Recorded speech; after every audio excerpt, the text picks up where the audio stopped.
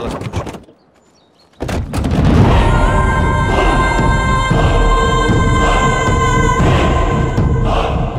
నమస్కారం. నమస్కారం. నా పేరు పెద వెంకట్రాయుడు.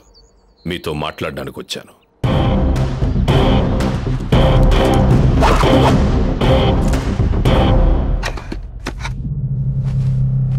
చెప్పండి. నేను వ్యాపారస్తుణ్ణి. భూముల్ని కొనటం అమ్మటం నా వృత్తి. నాకేం కావాలో ఎదుట వాళ్ళ దగ్గర తీసుకొని వాళ్ళకేం కావాలో నేనివ్వటం నా అలవాటు. మీ ఊరి భూములు నాకు కావాలి. మీ మాట ఈ ఊరి జనానికి శాసనమటగా వాళ్ళ భూములను నాకు అమ్మేయమని చెప్పండి. డబ్బులు వాళ్ళ మొహాన పడేస్తాను. నా మాట ఈ ఊరి జనానికి శాసనమని విన్న మీరు నా పేరులో మొదటి రెండు అక్షరాలు కూడా వినే ఉంటారు. వీరా. వి అంటే వినయం. మీరు నా దగ్గరకు వచ్చారు కాబట్టి అది మాత్రమే చూస్తారు. రా అంటే రాక్షసత్వం. అది నాలో చూడాలనుకోకండి. మీరు వాగిన పిచ్చ వాగుడికి నాకెక్కడో కాలక ముందే మీరందరూ ఇక్కడి నుంచి బయలుదేరితే చాలా మంచిది. నేను అడిగిన తర్వాత కూడా కుదరదని ఎవడైనా అంటే నాకేం కావాలో అది తీసుకొని ఎదుటోడు వద్దన్నా వాడికి ఏమివ్వాలో అది ఇచ్చేయడం నాకున్న చెడ్డలవాటు. నేను తలుచుకుంటే నిన్ను నీ ఊళ్ళోనే లేకుండా చేస్తా. కాయ్ పందెం కాయ్ ఐదు వందల ఎకరాల మాగాణి ఐదు ఎకరాల్లో ఉన్న నా ఇల్లు లక్షల మంది నా మీద పెట్టుకున్న అభిమానం. నేను కాస్త నువ్వేం కాసుకుంటావో నీ ఇష్టం. నీ వల్ల నేను నా ఊళ్ళో లేకుండా పోతానో లేదా నా వల్ల నువ్వు మీ వాళ్ళందరూ లేకుండా పోతారో చూసుకుందాం. ఆలోచించు. నాతో విరోధం చాలా ప్రమాదం. దేవుడు ప్రతి మనిషికి ఒక టన్ను సహనం ఒక కేజీ తెక్కిస్తాడు. నాకు ఆ రెండోది కూసం తెక్కువే. నా సహనంతో వాడుకో. బ్రతికిపోతావు. అదే నా తిక్క జోలికి వచ్చావో? పీకలు తెగిపోతాయి. పోరా.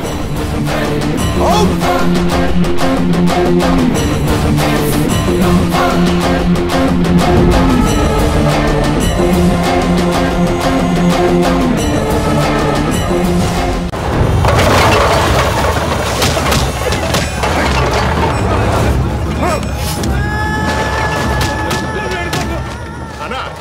ఇన్నాళ్ళు ఆ వీరాగడి అండ చూసుకొని మనల్ని పరిగెత్తించారు. ఇప్పుడు వీళ్ళు పరిగెడుతున్నారు. ఇన్నాళ్ళుగా ఎదురు చూసింది ఈ రోజు కోసమేరా. ఈ చెత్త కూడా పెట్టించరా మావా వీడు వీరాగడి మరి సంతకం పెట్టడంట. బావుమరిది అడగ్గానే పెట్టడానికి అది ఆటోగ్రాఫ్ కాదు వాడి ఆస్తి.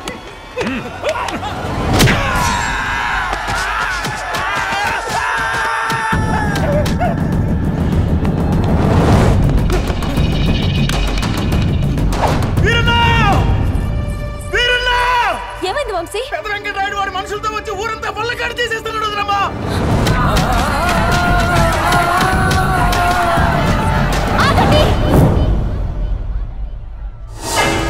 బావా వీరాగడి పెళ్ళం. పెద్ద వెంకట్రాయుడు వీర వచ్చేలోపు ఇక్కడి నుంచి వెళ్ళిపోండి. మీ ఆయుష్ గట్టిదైతే బతికిపోతారు. లేకపోతే? ముగ్గురు శవాలై వల్ల కట్టుకుపోతారు సభాష్ వీరా భార్యవి కదా. జనమంటే వాడికి పిచ్చుందని విన్నా. నీకు ఉందన్నమాట. వెళ్తా. అందరితో సంతకాలు పెట్టించుకొని మరీ వెళ్తా. రే పెట్టించండ్రా. రేయ్! ఇది వీర కట్టిన తాళి. దీని మీదొట్టు. ఎవడైనా ముందుకొస్తే నరుకుతాం. నరుకుతావా? నన్ను నరుకుతావా? నరుకు. రేయ్! ఏయ్,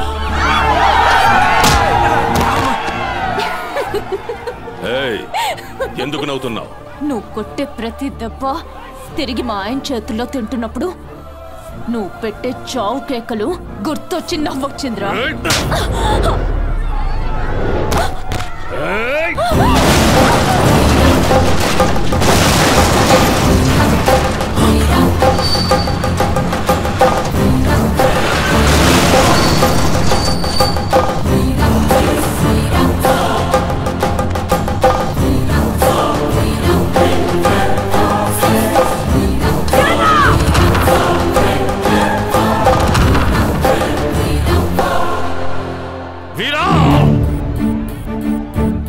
నేనేంటో నా చరిత్ర ఏంటో తెలియకుండా మా వాళ్ళని కొట్టావు. దమ్ముంటే నన్ను కొట్టు. అదే చరిత్ర సాక్షిగా చెప్తున్నా. చరిత్ర నీకు గుర్తుండిపోయేలా కొట్టమంటావా? చరిత్రకి నువ్వు గుర్తుండిపోయేలా కొట్టమంటావా?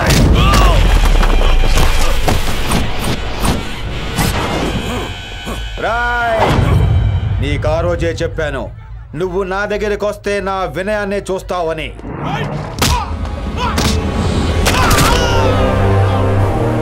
అదే నేను నీ దగ్గరికి వస్తే నాలో రాక్షసత్వాన్ని చూస్తావని.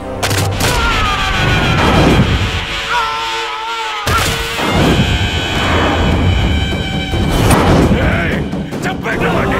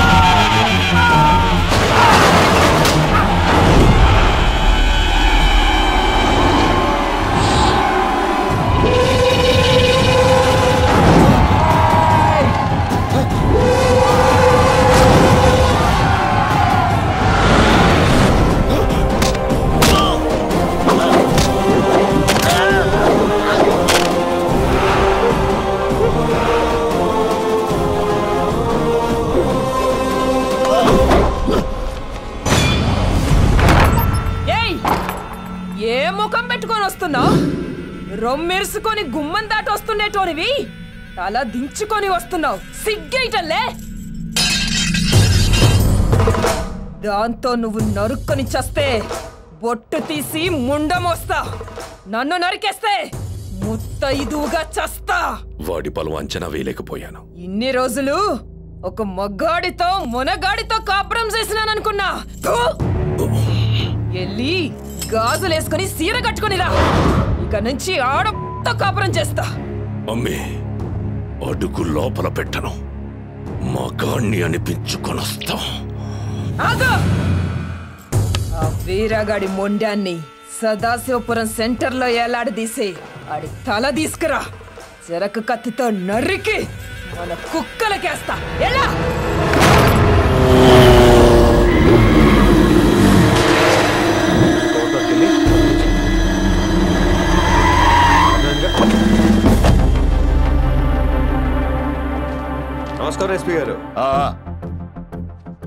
ఏంటి వెతుకుతున్నారు? ఆయన పోలీసులు ఎక్కడికి? ఊరికి రారే. ముందు మీ తమ్ముడిని పిలవండి. ఎస్పీ గారు బాగా సీరియస్గా ఉంటున్నారు. శను జ్యూస్ చెప్పరా? మీరండి ఎస్పీ గారు. నేను జ్యూస్ తాగడానికి మీ ఇంటికి రాలేదు. ముందు మీ తమ్ముడిని పిలవండి. పిలుస్తానులేండి ఈ లోపు మీరు ముందు. నమస్తే. ఆ, ఏంటి ఎలా వచ్చావు? ఆ. నాకేంటి అవసరం? తేవలసిన వాళ్ళే తెస్తారు. తీసుకోండి సార్. సారా? తీసుకోండి. మరి మా ఇంటి గొడవలు మిమ్మల్ని సార్ అనక ఇంకేమంటుందండి? నాన్న అనొచ్చుగా? ఎలా అంటుంది మీరే చెప్పండి. నా కూతురు మీ తమ్ముడు ప్రేమించుకుంటున్నారు. వాళ్ళకి పెళ్ళి చేస్తే బాగుంటుందని మీరే అడగొచ్చుగా? ప్రేమించిందని తెలిసిందే ఇప్పుడు. మీరు ఒప్పుకున్నారుగా? ఇంకా పెళ్ళే? పెళ్ళా? అలా ఎలా కుదురుతుంది? ఈయన ఒప్పుకున్నారుగా? ఈయనెవరండి ఒప్పుకోవడానికి ముందు ఆవిడ ఒప్పుకోవాలి. ఆవిడెవరు? ఈయన గారి గారాల చెల్లెలు. మొత్తం అంతా విన్నావు కదమ్మా? ఇదిగో వేరేకి ఇస్తున్నాను రే అంజీ మంచి వార్త నేనే చెప్పాను కదా. అదే మరి. నాకు పెళ్ళి అవ్వకుండా అన్నయ్యకి పెళ్ళి ఏంటి అందనుకో ఏడ్సేవలే చెప్పంగారం వాణ్ణి లాగా ఒకటి పీక్ అన్నయ్య. నేను అలా అంటానా? నాకు తెలుసు కదమ్మా. నీకు ఎప్పుడు కుదిరితే అదే శుభలగ్నం అప్పుడే ముహూర్తం. అమ్మా పిన్నిని కూడా తీసుకురా అమ్మా. రేపే బయలుదేరుతున్నావు. చాలా సంతోషం. చిట్టి చిట్టి చిట్టి చిట్టి అసలు ఈ ఆనందంలో నేను ఎత్తుకొని గిరగిరా తిప్పాలని ఉంది. కానీ దొక్కలో గుద్దుతా. నీ ప్రేమ నా మీద కాదులే. నా కడుపులో ఉన్న మీ నాన్న ఎక్కడ జారిపోతాడు అని? ఒరే సీను అన్నా. వంశీ! అన్నా! ఏంటన్నా? ఏంటన్నా? రేపు చెల్లు వస్తుంది కత్తులు మొత్తం దాచేయండి. ఇంట్లో బ్లేడ్ ముక్కలు కూడా కనిపించకూడదు. గడ్డలు ఏంటంటే రాగు తీసుకోండి.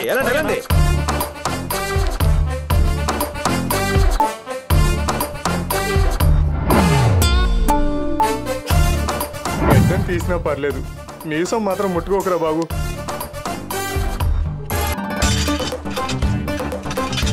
అప్పుడెప్పుడో పాండవులు ఆయుధాల్ని జమ్మి చెట్టు మీద దాచారంట. మనమేమో కొబ్బరి చెట్టు మీద దాస్తున్నాం క్షమించండి రా. చెల్లి వచ్చిన ప్రతిసారి మిమ్మల్ని చాలా ఇబ్బంది పెట్టేస్తున్నాను రా. ఈ ఊరి కోసం జనం కోసం మీరెంతో చేశారు? మీకోసం ఈ మాత్రం చేయలేమా?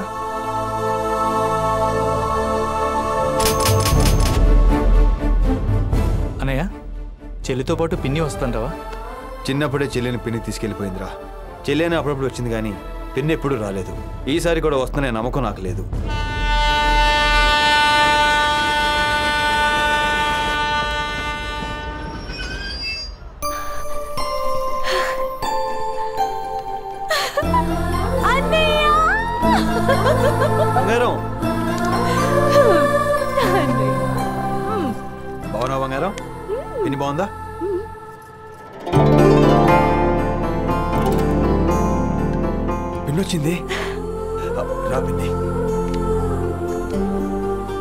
వచ్చినందుకు చాలా హ్యాపీగా ఉంది పిన్ని ఒరే చిన్నన్నయ్య నా పెళ్ళి వరకు ఆగలేవా? లవ్వంట వెంటనే పెళ్ళంట. అది కాదురా. నువ్వు డాక్టర్ అవ్వాలి నీకు డాక్టర్ వెతకాలి చాలా టైం పడుతుంది. అందుకే నేను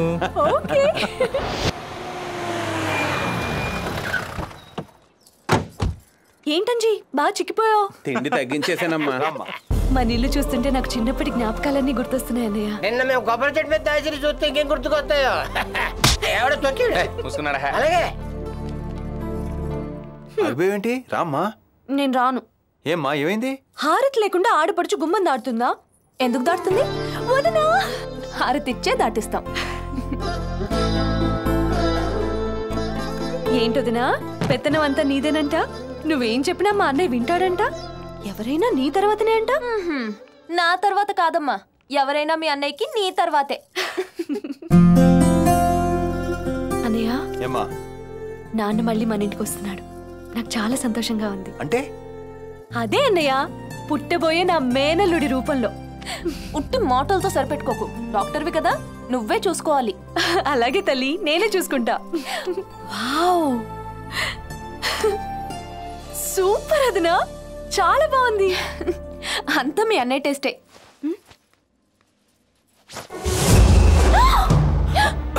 ఏంటి కత్తి ఇక్కడ పెట్టావు? ఈ కత్తి ఏంటి? ఈ కత్తి ఆ. మీ వదిన కడుపుతో ఉంది కదా.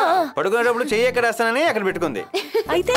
వంశధార వ్రతం అని ఓ వ్రతం. అది మధ్యలో పెట్టుకొని మొగుడు పిల్లలు పడుకుంటే కత్తి లాంటి పుడతాడు. అయినా సరే ముందు దీన్ని బయట పారేయి. అలాగే. ఓకే. ఇప్పుడు సంతోషమా? పరేషన్ బయట. సత్య? నువ్వు ఇక్కడ కత్తి ఎలా వచ్చింది? డొక్కలు గుద్దుతాం అన్నీ దాచేసావు పొరపాటున పది మంది కత్తులతో వస్తే ఒక్క కత్తైనా ఉండాలి కదరా మొగడం. ఇది కత్తి కాదా?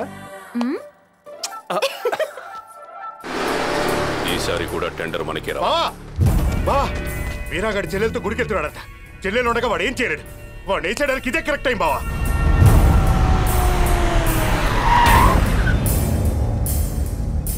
దిగమ్మా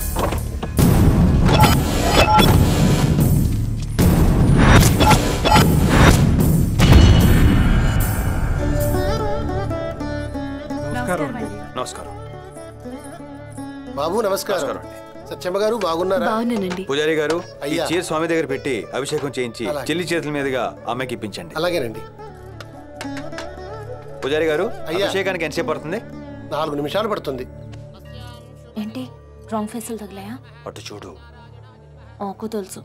వాళ్ళ సంగతి చూడు.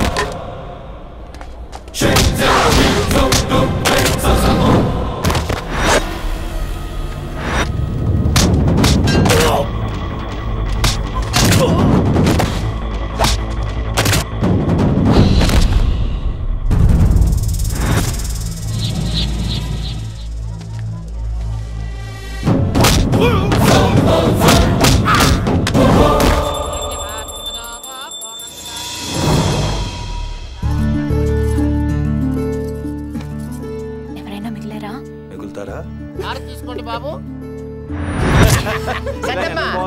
పెళ్ళి చేసుకొని సిటీలో సెటిల్ అయిపోతావా? లేకపోతే ఇక్కడ హాస్పిటల్ పెట్టి మాకు సూదులు పడుతావా? చూడన్నయ్య. సత్యమ్మ గురించి ఇంకో మాట మాట్లాడితే నీ పేక్కొస్తా. ఏడ్చేలా కనుక అప్పారా? తెచ్చింది నీకు కాదు వేరే. ఆహా. మీ మా పర్యం కాదు. అందరూ తీసుకోండి. రేయ్ నువ్వు చేసావా? మా చెల్లి చేసింది. రేయ్ మొత్తం పట్టుకురా. ఇదిగో వేరా. ఇవ్వు. రేయ్ ఇది పట్టుకోరా. పట్టున్నా నా కొడక్క. మేమంతా గుడికి వెళ్ళామని వెంకటరాయుడు మనుషులకి ఎందుకు చెప్పారా చెప్పు. చెప్పు. ఇన్నాళ్ళు మా ఇంట్లో ఉంటూ మాకే ద్రోహం చేస్తావా? చెప్పరా చెప్పు. చెప్పు.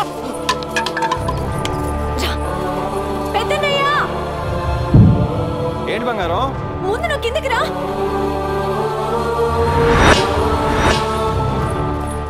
ఏంటమ్మా? ఏమైంది? వీడేం చేశాడో తెలుసా నీకు? ఈ ఇంట్లో ఏం చూడకూడదు అనుకున్నానో అదే చూశాను. రక్తం వచ్చేట్టు కొడుతున్నాడన్నయ్య. వీడు కూడా నాన్నలా తయారవుతున్నాడు. పెద్దన్నయ్య చూడు ఎంత శాంతంగా ఉన్నాడో. నువ్వు ఉన్నావు. ఇక నేను ఉండలేను. వెళ్ళిపోతాను. బంగారం వాడికి ఎప్పుడు ఎవడిని కొట్టడు. నేను చెప్తున్నానుగా. అయితే నా మీద ఒట్టేమను ఒట్టు చిన్నప్పుడు వేసాను కదమ్మా. నువ్వు వేసావు సరే. చిన్ననే వెళ్ళలేదుగా ఇక తన గొడవలకి వెళ్ళడని నువ్వు హామీ ఇస్తున్నావుగా. ఆ మాట నీ మీద ఒట్టేసి చెప్పమను. అప్పుడు ఉంటా. ఏంట్రా ఆలోచిస్తున్నావు? వే చూస్తానంటరా. వెయ్.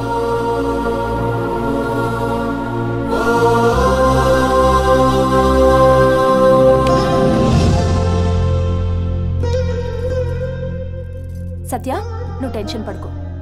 నా మీద ఒట్టేయించుకున్నానుగా? ఇక తన గొడవలకి వెళ్ళకుండా నేను చూసుకుంటాను. ఇక నవ్వు. నవ్వు.